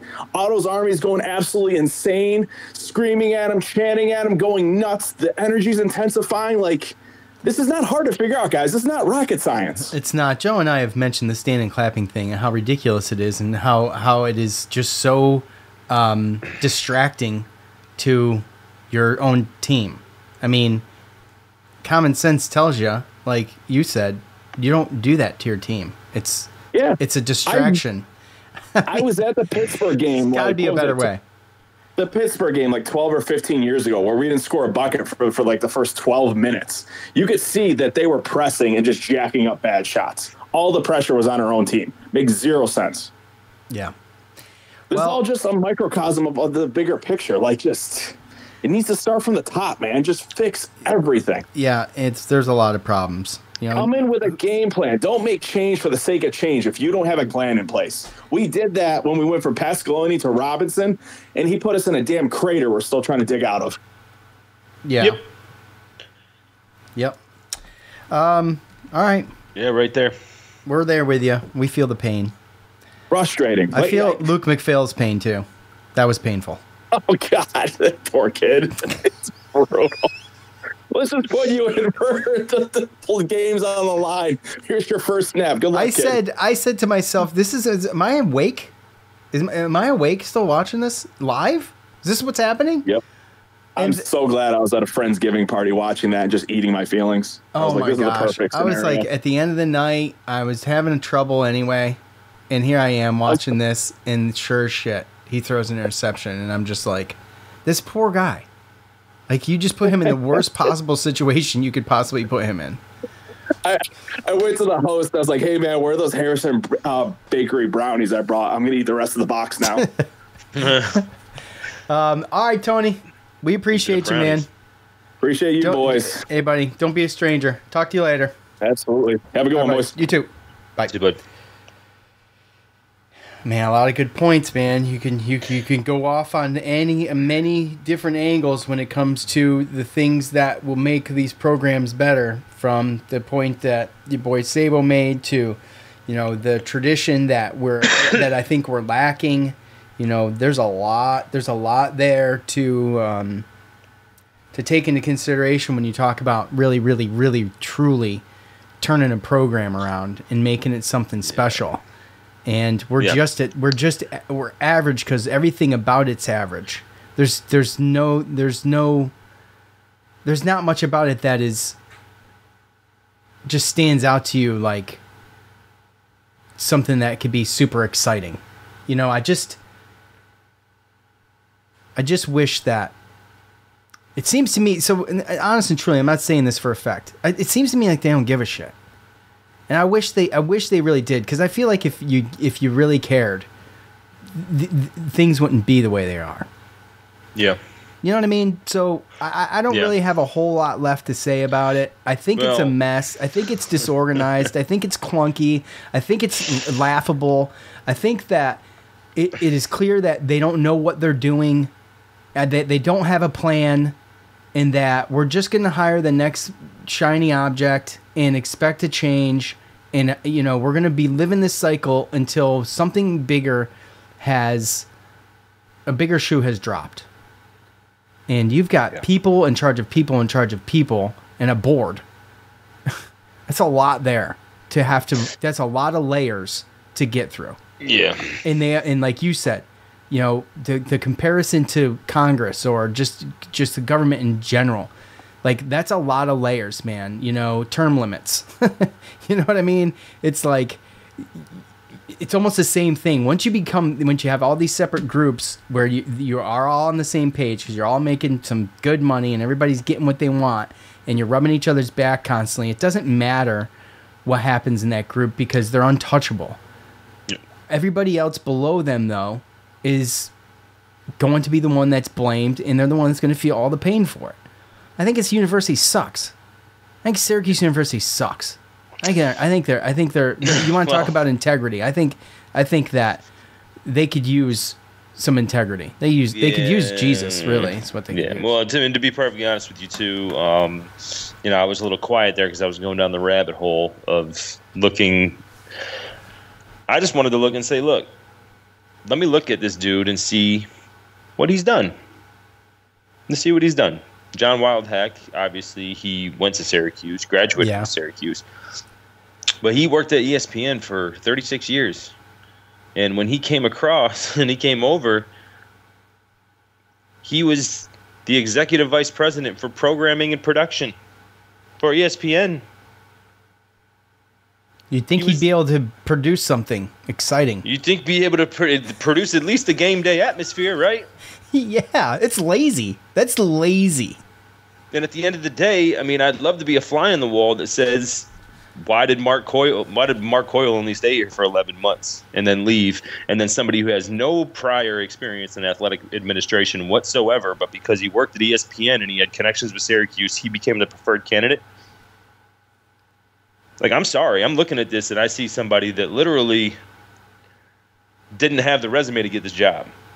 And got it because they know it's and, not who and you what are he was until you know. good at, at programming and production, you'd at least assume we'd have some type of entertainment factor. So that makes zero sense to me whatsoever. Um, so if you want to go there, then we can go there, and then obviously if you want to go even a, a- a step further, and this is another thing that's really, um, like I said, you can you can let your minds run because you know, like I said, we've kind of blended politics and leadership and all that stuff. But Kent Syverud, he was the dean of like law. He was a law school guy. Went to law school, professor of law. Um, taught complex litigation, insurance law, and civil procedures at Vanderbilt and at University of Michigan Law School. I mean, this guy's been around law. So how do you let something like LeQuint happen? How do you let something like that lacrosse player happen, right? How come there's things like that? And then when you dig down a little bit deeper, previously served as one of two independent trustees of the Deepwater Horizon Oil Spill Trust, a $20 billion fund to pay claims arising from the 2010 BP oil spill in Gulf of Mexico. Um, and it also says he played a critical role in luring the Micron Technologies $100 billion chip factory project to the area. Oh, so, really? I mean, So he's doing other things. Football, saying- is the not lowest thing, the least thing he's worried about. Because I'm saying you can let your you can let your mind run Yeah. and, and, and go with all that. So again, his his his salary for chancellors that's play money. He's got his hands in way way more shit than Syracuse. I didn't say it. I'm just saying when you really do a deep dive. That's why powerful. That's power. In charge of That's power. That's why they're in charge. That's your answer. And good research on that. But it's because they're powerful people. That's he's a powerful person. They are collecting a paycheck. And Look. Wildhack is his alumni yes man. If you can if you can collect a paycheck that big and not do anything and allow yourself to have all these other jobs and have your hands in all these other cookie jars and the people just allow it, why the hell wouldn't you? I mean, what the hell? You know? I ain't got to do shit. I got my job. Dino, though, man, Yeah. dude, this is really bad. You know, the atmosphere isn't great.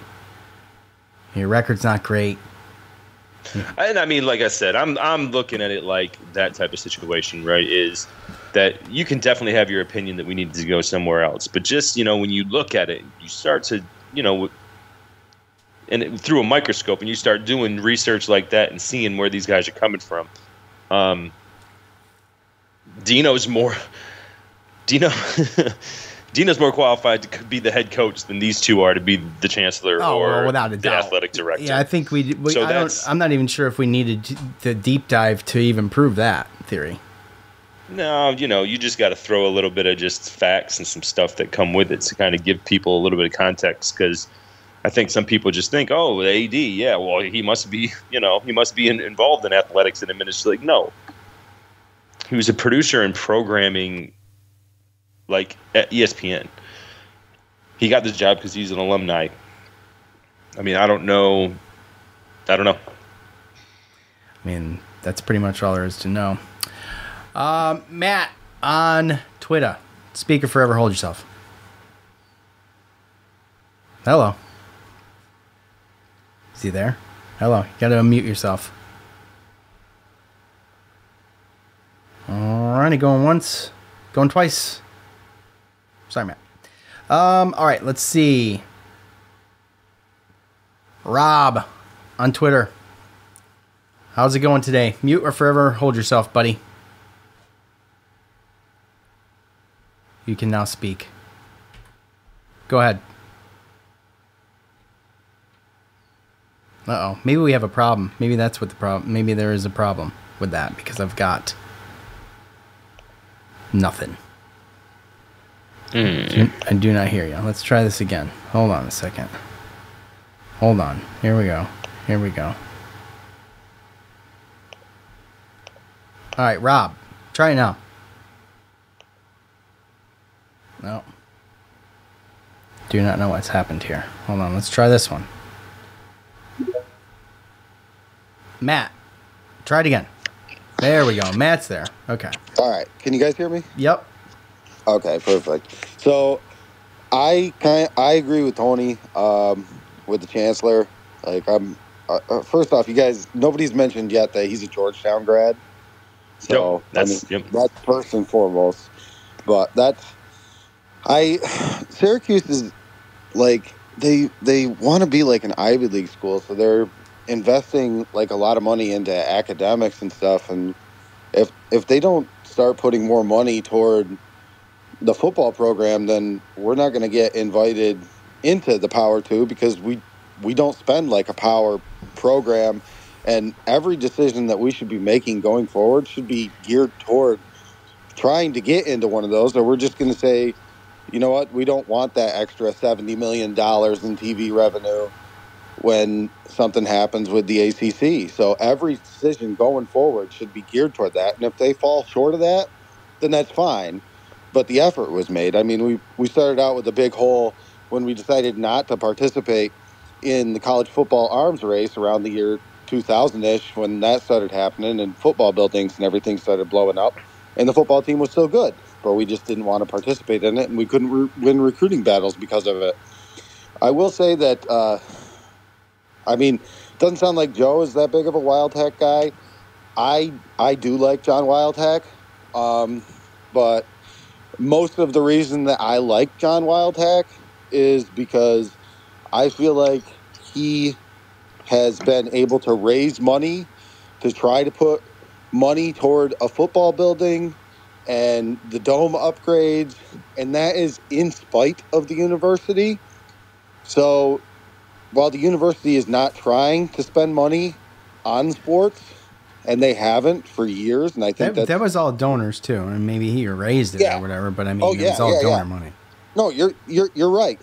You're right. It was all donor money, but he's been a force in raising that donor money. Well, why, why wasn't he a force though, M- Matt? I'm sorry to cut you off. Why wasn't he a force though in getting the NIL program started? Because he felt like he was too above the fray to even get down and start doing anything about it two years ago, and now here we are. We're way behind the eight ball on this, and you know now we're we're struggling to catch up, and we're in the situation we're in because it, it, we're so far behind. I mean, that's I great think- that he got the facility. It is. It's great. Whatever. I mean, think Yeah. about what a third of that money would have done in NIL. A He's raising that all that money. I mean, there, he could have been. We could have been well on our way to some serious, some serious payments being made to some, some, you know, very um, Could have kept Jesse special Edwards. athletes. Yeah, I mean, and the money will come. By the way, if you bring the athletes, the money will come. I mean, Oh, yeah. you know, it, it's So- there's no doubt about it. And I mean, like I said, I think what they did with the dome, I think they screwed up. I think they screwed up with that dome. I think they could have done something a little bit more niche for Well, the area. I mean, think about think about it like this. I mean, we uh, the original plan was to have a retractable roof on the dome, and they couldn't secure enough public funds, tax dollars, to do it. Meanwhile, over Well, it shouldn't be paid for by the public A&M anyway. I mean, uh, well, yeah, but over at Texas A and M, they did uh, they did uh, upgrade to their facility or their their stadium, which was more money than ours, and that was hundred percent private funded. And we like we don't have oil money running through us the way they do Yeah. in the South. So I mean, it's just, I mean, we have kind of limited resources. I think he's done a really nice job of raising money to get some of that those facilities done and to get the dome upgrades done when in the past athletic directors just haven't been able to move the needle on it and we're actually seeing some progress. So and and What does like, it do the for the betterment of in the past? What- like the athletic directors in the past could not get that type of investment, and he's going outside of the university to do it because it's the only way to do it because he's fighting the administration for funding. I, it, from from an outside perspective, it feels like that. I mean, you had the Lally complex. He got a twenty five million dollar donation, like in hand. He's selling. He's selling some of this stuff to our donors, and actually, like we're we're breaking fundraising records because of it. Now, I understand that. I understand your point, like with NIL and everything, and like behind the eight ball with it. Like I, that's a whole nother mess. Like I, I'm on board with you guys on that. Like 100. percent Like we should be out in front doing things and leading the pack, and it's just.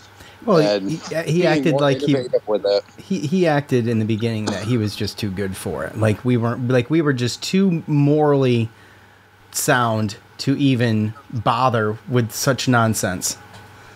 You know, And and, I- and, obviously like that's not true. First of all, it's not true. Yeah.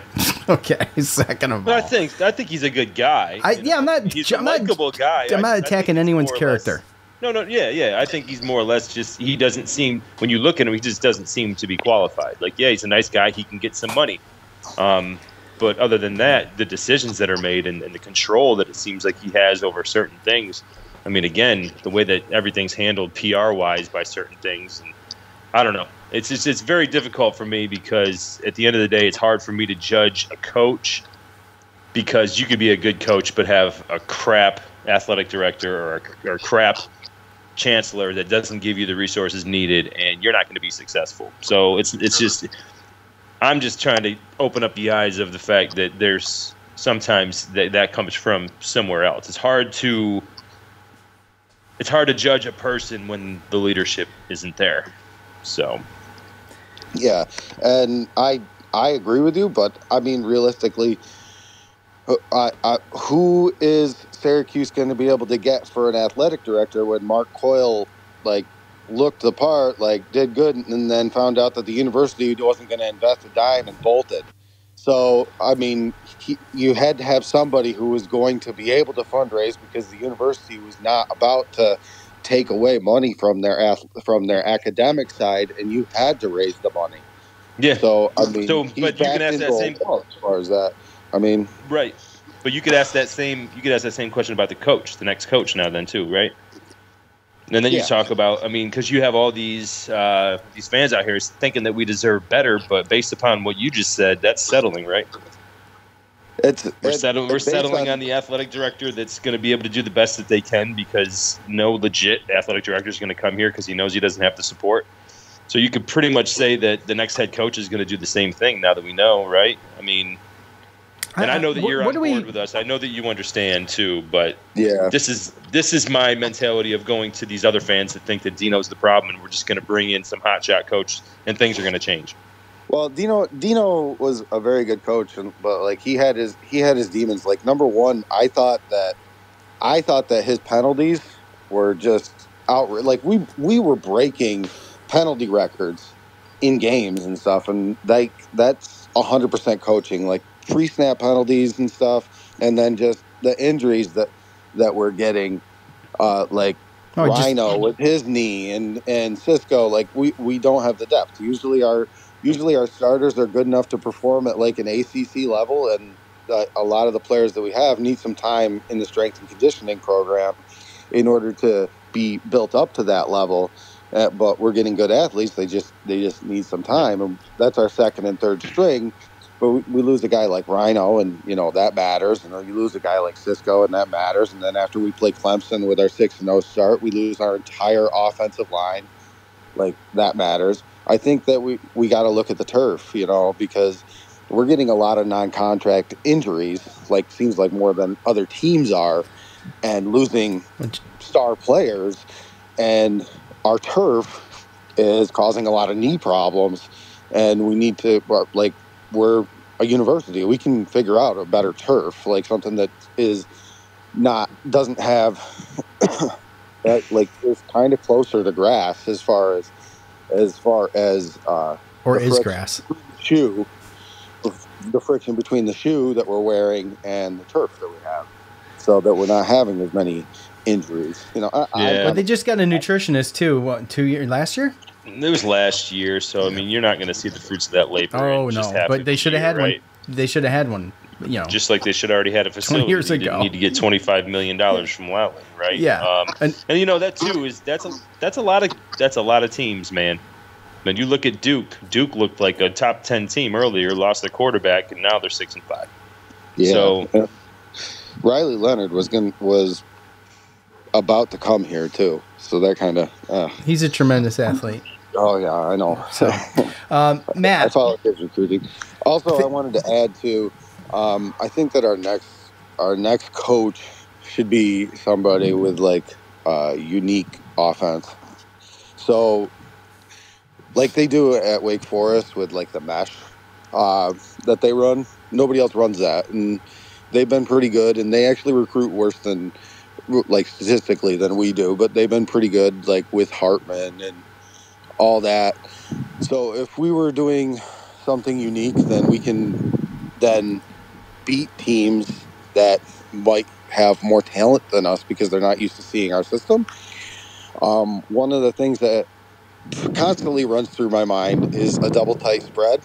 I'd love to be able to run a double type spread here because we have success recruiting H type tight ends, and we don't have a lot of success recruiting slot guys. Usually, our slot guys are just guys that uh, we're their only Power Five offer. So, but with H type tight ends, we have a lot of success recruiting them. Um, like Mahar, when we got him, he had some pretty major Power Five offers. Uh, I know that he hasn't. Hey, he's been injured, but um, and the other guy that transferred to Utah, uh, he got here, found out he was going to block, and then left to Utah. Uh, but something like they used, the Patriots used to run with Gronk and Hernandez, I think would be very successful here, and it would be very unique. Nobody else runs a double tight spread, so that's that's my final thoughts on it. But I hope I uh, appreciate you guys, and thanks for having me on. yeah, uh, Matt, Yep. insightful as Thanks, bud. always, man. Appreciate it, buddy. Take care. Don't be a stranger. Yep, bye. Uh, all right, we got. We're we're gonna do one more. Oh no, he's not there anymore. Oh, he is there. Rob, if you want it, if you want, there we go. Um, let's see, one more. All right, Rob, let's try this again, man. Sorry, I wanted to try to give you another shot here. Um, just unmute, and you should be good, hopefully. Okay. There he is. Okay, I don't know what happened. Sorry about that.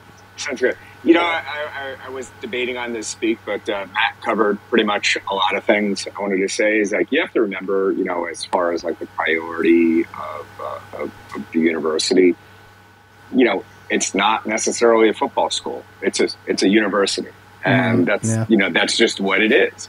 Uh, football, you know, obviously we're passionate about it, but you know, there's a lot of a lot of things that they have going on, and it's just not that. I will say that you know, Wildhack is doing a great job. You know, when he came, he he came on board after Dino. Um, let's see, you know, this is going to be his mark on it. There was no investment in football prior to him the way there is now.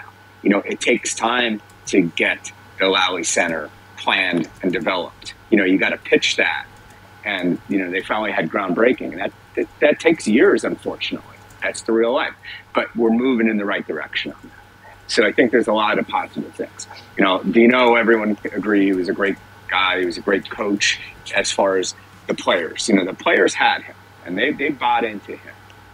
Um, and again, he was, you know, obviously time management, uh, some questionable decisions, but, you know, do you kick a field goal or do you go for it? You know, flip a coin. You know, you know he's going to get criticized for, for whatever decision he makes in some cases. Pretty much. And, um, you know, some, things like that. But, you know, yeah, when you don't have the depth and the injuries. And again, NIL, look at uh, Boeheim's wins being taken away because of NCAA violations. They kind of took a wait and see attitude, you know, test the waters on that. Hopefully they're doing a lot. Uh, you know, apparently uh, their NIL is in a lot better shape now than it has been. So again, moving in the right direction. You know, a lot of people give you know crap for like whatever the thing with Weitsman. We don't know the behind the scenes details on that. You know, uh, and what did he do other than bringing the, the high profile people? You know, yeah, he, he put out an offer for a million dollars for a five star uh, athlete to come. That's not enough. You know, I- that's not going to do it. I I think Weitsman's Weitsman was all about Weitsman, which is why I don't Yeah. I don't care that the ties there are cut. I'm I'm I'm not trying I'm not attacking anybody's character. Just clearly to me, my opinion, the whole gimmick with the celebrity um, trips to the dome for basketball oh. games was that was about him boosting his you know status. And and, and that's i think what a lot of and, that, and that's not to say he doesn't care about the sport doesn't care about the school and the athletes but it's a smart move. He's a businessman. Weitsman's No, no, about no. weitsman I agree 100%. I'm not criticizing them as well, but again, I don't know if it necessarily had a huge impact on the team. i don't think it did. You're talking about we're talking about some of these collectives doing multi-million dollars uh, donations. We're talking big money. We're not talking paying one one five star athlete's salary for a year. We're we're talking you know way beyond that. That's a s- that's a great start but on a that's a small scale. We need to focus more on divvying out money how it should be done in large sums not about paying one superstar an exorbitant amount of money to play for a year or whatever the case is a year or whatever the hell you know uh, they they Yeah. th- contractually decide upon or whatever i just don't think that that was that was a early stages decent way to i think look at it but at the end of the day i think that the orange united collective um, is going to be the way to go. You get everybody involved in that and you get to earmark where your money goes and then you have the big donors too on top of it. And we don't know their names by the way. Okay so there's adam weitsman we know him. Well there's plenty of other big donors that are doing you know seven figure donations and we don't know their names. No, no, no, I agree. But again, you, you know, the facilities. You know, how long till the Lally complex is going to be completed? Two more years. Years. And that's that's yeah, and if not longer, because you know, construction always takes longer. But again, we're at least getting some stuff done that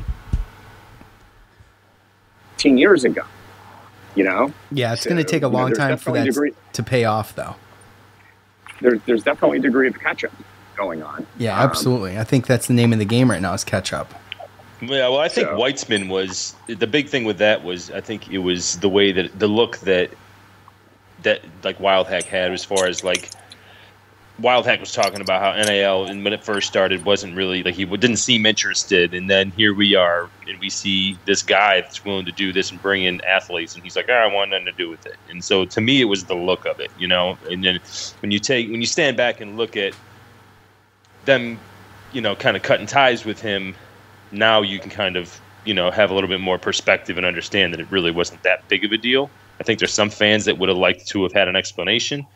Um, Oh, you're but- never going to get anything explained to you, Joe. You plebe. You think you deserve an explanation for anything? You you No. you plebe. Yeah, just um, but I'm gonna but they're gonna take the money from my paycheck. Um, no, but They will so- take the money.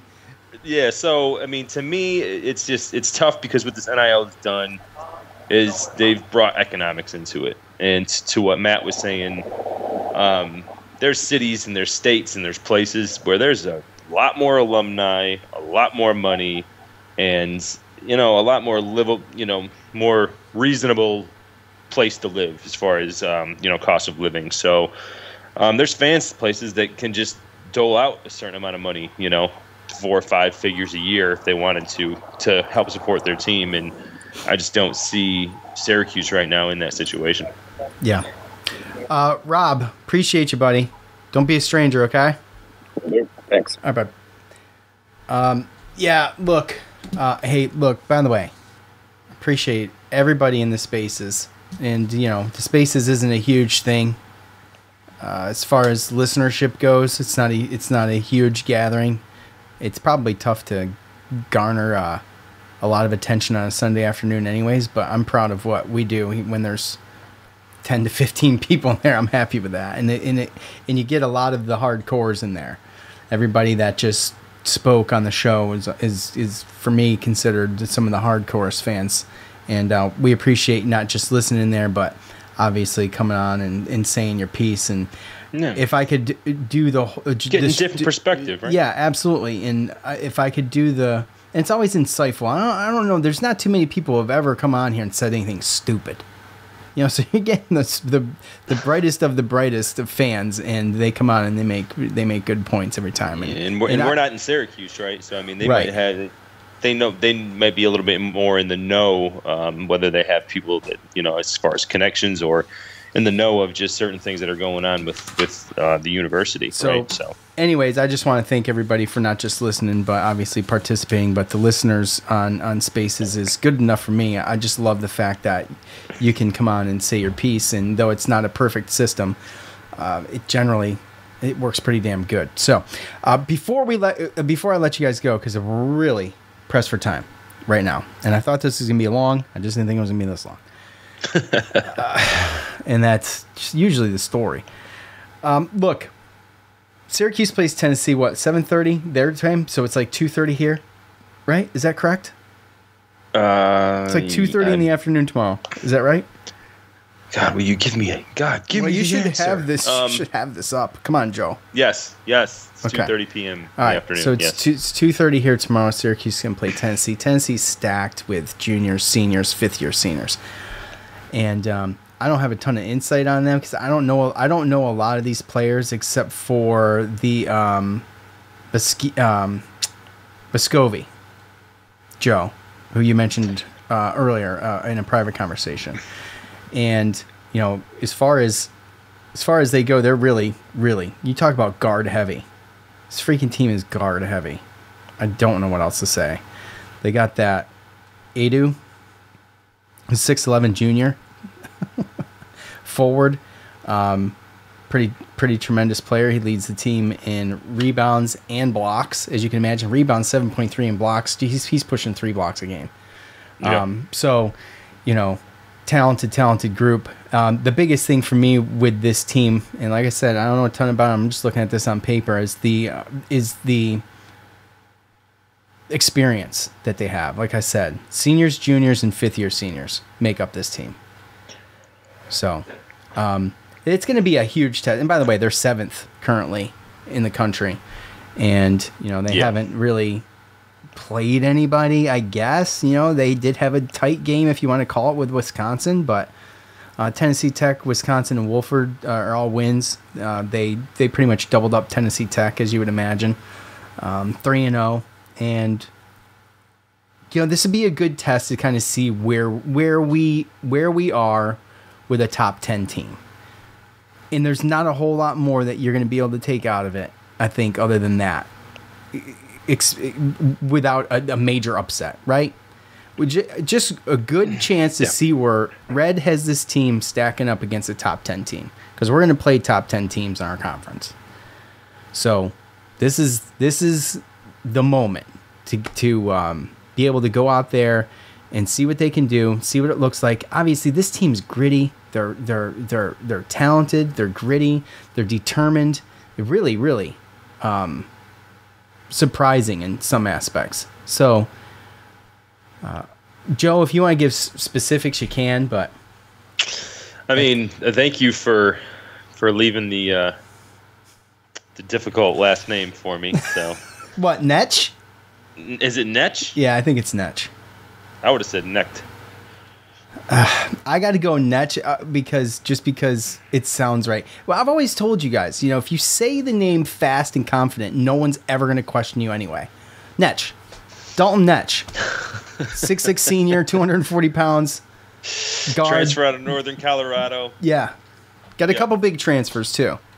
Yeah, well, I mean, that guy right there is really the main one. He's led the team in scoring um, all three games, and obviously, this is his first season. Um, with the Vols. Yes. So you looked at 21, 22 just two years ago. He was averaging 8.9 points. Last year, he jumped up to 20 points a game, and he's pretty much right there as well. So, and you say guard oriented, but like, they're still like tall. They're tall guards, six three, They six are. six, six six. Yeah. Josiah jo- Josiah Jordan James, their leading scorer. Um, you know he's six six. Jordan Gainey, averaging thirteen points a game. he's the other out of, transfer. uh, yeah, South, South Carolina. Carolina, upstate. Um, so their leading scores is That chair, that stool was loud. I apologize about yeah, it was super loud. know, um, their leading scores are the transfers that obviously were great scores in just smaller schools last year, and so far so good after three games. Um, so, uh, yeah, this team is also a very good defensive um, def- defensive team. So it looks to me like for at least the first three games, they've got you know six guys who average 20 plus minutes, and other guys, like Kai Zeigler, that uh, it's about 17 minutes. But again, you know, two of those games, Wofford was close around halftime, but um, they pulled away. So I don't know. Um, they're probably going to go anywhere between six to eight deep. Um, so yeah, it's going to be interesting. Um, I know that they're still trying to. I listened to some videos with Rick Barnes, their coach, and um, You listen to Vescovi. videos or you watch videos? I listened to a video. It was a video, but I listened to it. I Well, you listen to it and watch, or you just listen to it? No, I just listened to it because I like to multitask. Um, so yes, Fair. I just was trying to be clear of what was going on. We're yeah, trying to get all get get a visual. So No, you're just trying to make me look like an idiot. no, you were Uh, cooking uh, beef stew, listening to videos. I totally get it, dude. Okay, good, good. Um, but yeah, no, they're still trying to figure stuff out. So, you know, we're not going to see. This isn't going to be the best. You know, this isn't end of the season Tennessee or you know, you know, in the middle of the SEC schedule. Um, but nonetheless, this is probably one of the better defensive teams that we're going to be playing against. So, um, yeah, that's what I worry about. You know, try to steal one. If we're going to steal one, it's probably going to be this one over Gonzaga or Purdue. Um, and if we lose our first two games, then you know we'll end up playing Chaminade for the seventh place. Um, that'll be a win. I mean, dude, it's kind of a stacked. It's kind of stacked against. It's super Syracuse. stacked. I just wish that we were on like the same side as Chaminade to I don't know.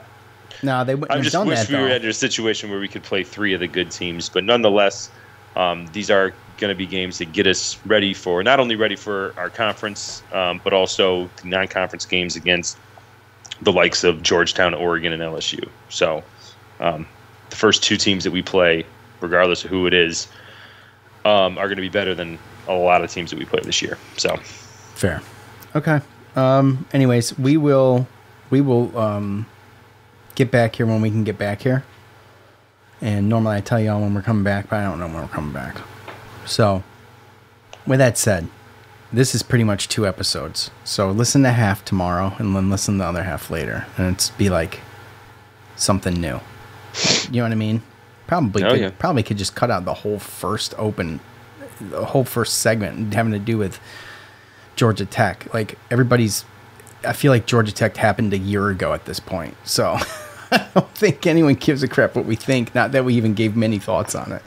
Uh, but it is the last ever Coach Babers montage, which was looking back on it, maybe a slight chance that maybe he had a, good idea. It might have been two. wasn't a lot there. It was only six minutes. Those usually run 13 minutes, 12, 13 minutes. So, Yeah. anyways, and But it's in also- enemy territory. I know, but they still, though, this year surprisingly have had like real um, post game pressers set up after these away games, not just an interview in a hallway with a bunch of people with cell phones recording answers. You know what I'm saying? Yeah. So it's been a little bit different this year. But anyway, um, that's all we got. I want to thank everybody again, all of you who listen, all of you who uh, get in the spaces and participate in the show, everybody leaving comments. Uh, just enough can't be said about you guys. Appreciate it. I really, really do. Yes. And um, look, man, heads up. We'll get this thing figured out. Someone will. Our heads are going to roll. So for Joe, for Sean, we're out. We'll see you soon. Peace.